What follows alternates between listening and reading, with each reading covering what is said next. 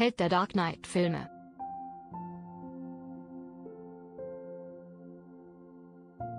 Mit seiner Darbietung des Helden Batman in der Dark Knight-Trilogie hat Christian Bale, 48, die Geschichte über den Beschützer Gothams auf ein neues Level gehoben.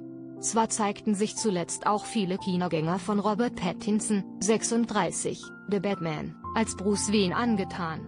Der Wunsch, dass Bale noch einmal ins Beatmobil steigt und damit auf die Leinwand düst, scheint dennoch ungebrochen.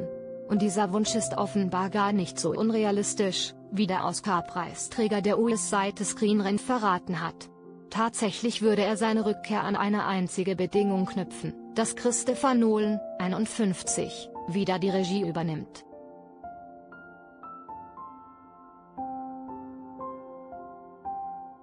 Mit Nolan habe er noch vor dem Abschluss der Reihe einen Pakt geschlossen. Lass uns drei Filme machen, wenn wir jemals so viel Glück haben sollten, das tun zu dürfen. Und dann lass uns davon weggehen. Schon damals habe er für sich persönlich aber ein mentales Hintertürchen offen gelassen. Sollte Chris Nolan jemals zu sich sagen, weißt du was, ich habe noch eine Geschichte zu erzählen. Und sollte er sich dann wünschen, diese Geschichte mit mir zu erzählen, wäre ich sofort dabei.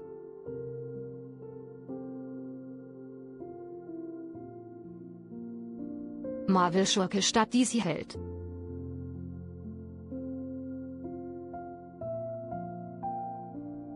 Am letzten Punkt dürfte es nicht scheitern. Nolan ist bekannt dafür, gerne mit Schauspielerinnen und Schauspielern auch filmübergreifend zusammenzuarbeiten. Im Fall von Bale etwa bereits im Streifen der Prestige. Und auch Tom Hardy, 44, Killian Murphy, 46, Anne Hathaway, 39, und allen voran Sir Michael Caine, 89, wissen um die Treue des Filmemachers.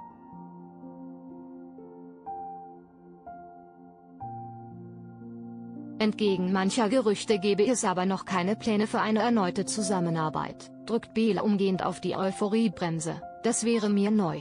Mir hat dazu niemand etwas gesagt.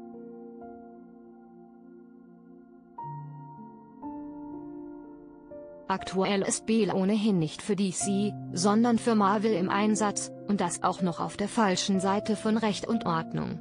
Im neuen Torstreifen Love and Thunder der ab dem 6. Juli in Deutschland anläuft, spielt Bale den Antagonisten Gore mit dem martialischen Beinamen der Götterschlechter.